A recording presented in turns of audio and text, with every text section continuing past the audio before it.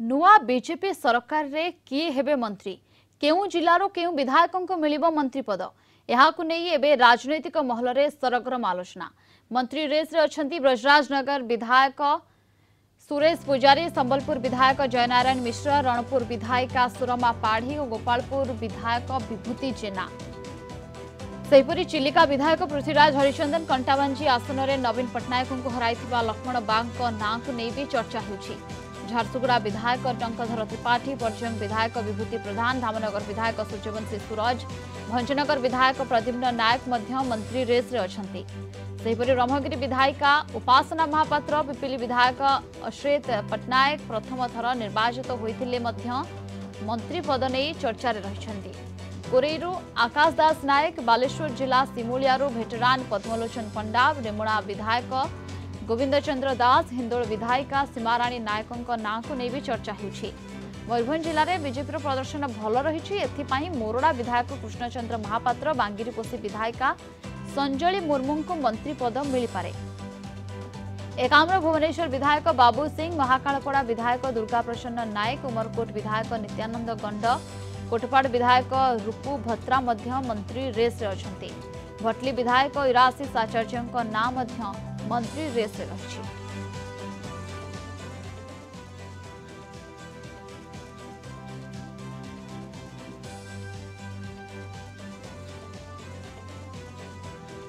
ଦକ୍ଷିଣ ଓଡ଼ିଶା ମୁଖ୍ୟ ପ୍ରକାଶ ପଟ୍ଟନାୟକ ଆମ ସହିତ ଯୋଡ଼ି ହୋଇଛନ୍ତି ଅଧିକ ସୂଚନା ପାଇଁ ପ୍ରକାଶ ଗଞ୍ଜାମ ଜିଲ୍ଲା କଥା କହିବା ଯଦି କ- କେଉଁମାନଙ୍କର ପସିବିଲିଟି ରହିଛି ଏ ସମ୍ଭାବ୍ୟ ମନ୍ତ୍ରୀ ତାଲିକାରେ ସାମିଲ ହେବାର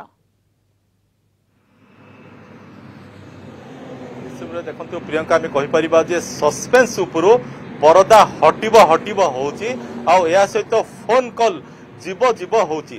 ତ ଆମେ ସେମାନଙ୍କ ସମ୍ପର୍କରେ କହୁଛୁ ଯେଉଁମାନେ କି ଆଶା ବାନ୍ଧି ରହିଛନ୍ତି ଯେ ବିଧାୟକରୁ ମନ୍ତ୍ରୀ ହେବେ କି ବିଧାୟିକାରୁ ମନ୍ତ୍ରୀ ହେବେ କି ହାତୀ କାହା ମୁଣ୍ଡରେ ସୁନା କଳସ ଢାଳିବ ତାକୁ ନେଇ ଚର୍ଚ୍ଚା ଚାଲିଛି। ତ ଏସବୁ ଭିତରେ ସସ୍ପେନ୍ସ ଜାରି ରହିଛି।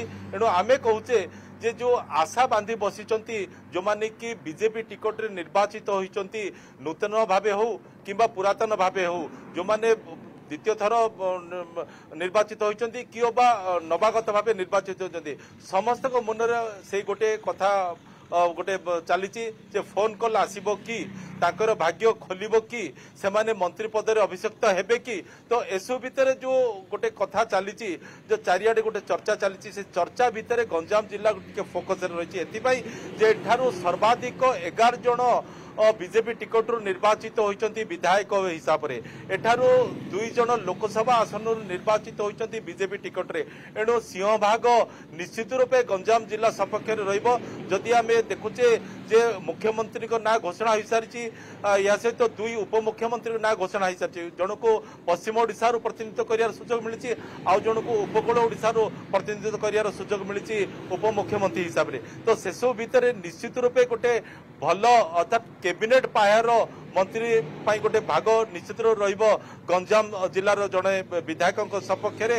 ଆଉ ଏହା ସହିତ ଗୋଟେ ଭଲ ବିଭାଗ ମଧ୍ୟ ମିଳିବ ଯିଏକି ମନ୍ତ୍ରୀ ହେବେ ଗଞ୍ଜାମ ଜିଲ୍ଲାରୁ। ତ ଏସବୁ ଭିତରେ ଯଦି ଆମେ ଦେଖିବା ଯେ ଏଗାର ଜଣଙ୍କର ଯୋଉ ଲମ୍ବା ତାଲିକା ଦେଖୁଛେ ଯେ ସର୍ବା ଆଗରେ ଆସୁଛନ୍ତି ବିଭୂତି ଜେନା ଯିଏକି ଗୋପାଳପୁର ନିର୍ବାଚନ ମଣ୍ଡଳୀରୁ ପ୍ରଥମ ଥର ପାଇଁ ନିର୍ବାଚିତ ହୋଇଛନ୍ତି। ଯଦିଓ ସେ ଲଗାତାର ଭାବେ ଦୁଇ ହଜାର ନଅ ମସିହାରୁ ନିର୍ବାଚନ ଲଢ଼ି ଆସୁଥିଲେ କିନ୍ତୁ ସବୁବେଳେ ସେ ଫେଲ୍ ମାରୁଥିଲେ। କିନ୍ତୁ ଏବେ ସେ ସଫଳ ହୋଇଛନ୍ତି।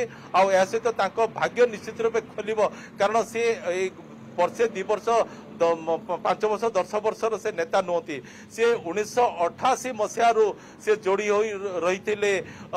ଆର୍ଏସ୍ଏସ୍ ସହିତ ପରବର୍ତ୍ତୀ ସମୟରେ ସେ ଆପଣଙ୍କର ବିଶ୍ୱ ହିନ୍ଦୁ ପରିଷଦ ସହିତ ଯୋଡ଼ି ହୋଇ ରହିଥିଲେ ପରବର୍ତ୍ତୀ ସମୟରେ ସେ ସରପଞ୍ଚ ମଧ୍ୟ ହେବାର ସୌଭାଗ୍ୟ ପାଇଥିଲେ।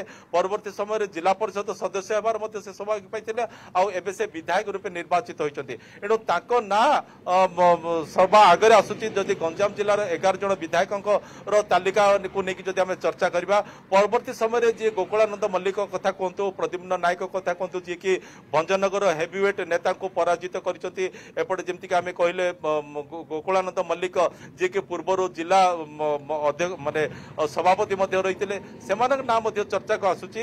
କିନ୍ତୁ ଯାହା ବର୍ତ୍ତମାନ ଆମ ପାଖକୁ ଆସୁଛି ଗୋଟେ ବିଶ୍ୱସ୍ତ ସୂତ୍ରରୁ ଖବର ଯୋଉ ଆସୁଛି ଯେ ଆଉ କିଛି ସମୟ ପରେ ବିଭୂତି ଭୂଷଣ ଜେନାଙ୍କ ପାଖକୁ ଫୋନ କଲ୍ ଯାଇପାରେ ଯେ ତାଙ୍କ ନାଁରେ ମୋହର ମାରିଛନ୍ତି ହାଇକମାଣ୍ଡ ମୋହର ମାରିଛନ୍ତି ଆଉ ତାଙ୍କୁ ମନ୍ତ୍ରୀ ରୂପେ ଶପଥ ନେବା ପାଇଁ ଅ, କୁ- କୁ ସୁଯୋଗ ମିଳୁଛି ଆଉ ଏଥିପାଇଁ ତାଙ୍କୁ ପ୍ରସ୍ତୁତ ହେବାକୁ ମଧ୍ୟ ଫୋନ କଲ୍ ଯାଇପାରେ ବୋଲି ଏମିତି ଏକ ବିଶ୍ୱସ୍ତ ସୂତ୍ରରୁ ଆମ ପାଖକୁ ଖବର ଆସୁଛି ବେଗମ ପ୍ରିୟଙ୍କା ପ୍ରକାଶ ଆପଣ ଯେଭଳି ଭାବରେ ସୂଚନା ଦେଉଥିଲେ ଯେ ବିଜେପିର ଏତେ ଜଣ ବିଧାୟକ ରହିଛନ୍ତି ଏବଂ ଅ, ଲୋକସଭାକୁ ମଧ୍ୟ ନିର୍ବାଚିତ ହୋଇଛନ୍ତି ଗଞ୍ଜାମ ଜିଲ୍ଲାରୁ ତେଣୁ ଦେଖିବାକୁ ଗଲେ ବି- ଗୋଟିଏ କିମ୍ବା ଦୁଇଟି ନୁହେଁ ହୁଏତ ତିନିରୁ ଚାରିଟି ମନ୍ତ୍ରୀ ये गोटे आलोचना हो सेलिब्रिटी फेस रही सिद्धार्थ महापात्र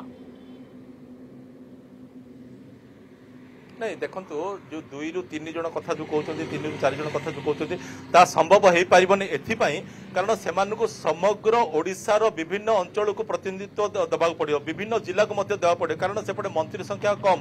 ଦୁଇ ଜଣ ଡେପୁଟି ଚିଫ୍ ମିନିଷ୍ଟର ହେଇଗଲେ ଜଣେ ଚିଫ୍ ମିନିଷ୍ଟର ହେଇଗଲେ ତ ଆପଣଙ୍କର ଉଣେଇଶ କୋଡ଼ିଏ ଖୋଜି ଆଉ ଉଣେଇଶ ଜଣ ମନ୍ତ୍ରୀ ହେବାର ସୌଭାଗ୍ୟ ଅର୍ଜନ କରିବେ। ତ ଏଥିପାଇଁ ହୁଏତ ଗଞ୍ଜାମ ଜିଲ୍ଲାକୁ ଅନ୍ୟ ସୁଯୋଗ ମିଳିପାରେ। ଯୋଉମାନେ କି ନିର୍ବାଚିତ ହୋଇଛନ୍ତି କାରଣ କର୍ପୋରେସନ ଚେୟାରମ୍ୟାନ କଥା କୁହନ୍ତୁ କିମ୍ବା ଅନ୍ୟାନ୍ୟ ଯୋଉ ଭଲ ପଦବୀ ଗୁଡ଼ିକ ଅଛି ସେଗୁଡ଼ାକ ହୁଏତ ସେମାନଙ୍କୁ ଦିଆଯାଇପାରେ କିନ୍ତୁ ମନ୍ତ୍ରୀ ହୁଏତ ଦୁଇରୁ ତିନି ଜଣ ଦିଆଯାଇ ନପାରେ ଯାହା ମୁଁ ଭାବୁଛି। କାରଣ ସେମାନଙ୍କୁ କେବଳ ତ ଏଇ ପାଞ୍ଚ ବର୍ଷ ପାଇଁ ଚିନ୍ତା କରିବାକୁ ପଡ଼ିବନି ଆଗକୁ ଆପଣଙ୍କର ଆସୁଛି ପୌର ପଞ୍ଚାୟତ ନିର୍ବାଚନ ଆସିବ ତାପରେ ପୌର ନିର୍ବାଚନ ଆସିବ ସେଥିପାଇଁ ମଧ୍ୟ ସେମାନଙ୍କୁ ରଣନୀତି ପ୍ରସ୍ତୁତ କରିବାକୁ ପଡ଼ିବ। ତ ପାଞ୍ଚ ବର୍ଷ ପରେ ପୁଣି ଥରେ କେମିତି ସେମାନେ ଦ୍ୱିତୀୟ ଥର ପାଇଁ କ୍ଷମତା ଦଖଲ କରିବେ ତା କରିବା ପାଇଁ ସେମାନେ ବୋଧହୁଏ ଚେଷ୍ଟା କରିବେ ଯାହାଫଳରେ କି ଅନ୍ୟାନ୍ୟ ଜିଲ୍ଲା ପାଇଁ ଯୋଉଠିକି ଦଳକୁ ଆଉ ଟିକେ ଅଧିକ ପରିଶ୍ରମ କରିବାକୁ ପଡ଼ିବ ଆଉ ଟିକେ ତାଙ୍କର ଭୋଟ ବ୍ୟାଙ୍କ ବୃଦ୍ଧି କରିବାକୁ ପଡ଼ିବ ତ ସେଇ ଦି- ସେଇ ସବୁ ଅଞ୍ଚଳରେ ହୁଏତ ସେମାନେ ମନ୍ତ୍ରୀ ରଖିବା ପାଇଁ ଚେଷ୍ଟା କରିବେ ଯାହାଫଳରେ କି ତାଙ୍କର ସଂଗଠନ ଆହୁରି ବୃଦ୍ଧି ପାଇବ। ତ ଏଥିପାଇଁ ହୁଏତ ସୁଯୋଗ ମିଳି ନପାରେ ଗଞ୍ଜାମ ଜିଲ୍ଲାରେ ତିନି ଚାରି ଜଣ ମନ୍ତ୍ରୀ ହେବାର ଯାହା ମୁଁ ଭାବୁଛି କିନ୍ତୁ ବିଭୂତି ଭୂଷଣ ଜେନାଙ୍କ ବାଦ ଆଉ ଜଣକୁ ମଧ୍ୟ ଦେବାର ସମ୍ଭାବନା ରହିଛି।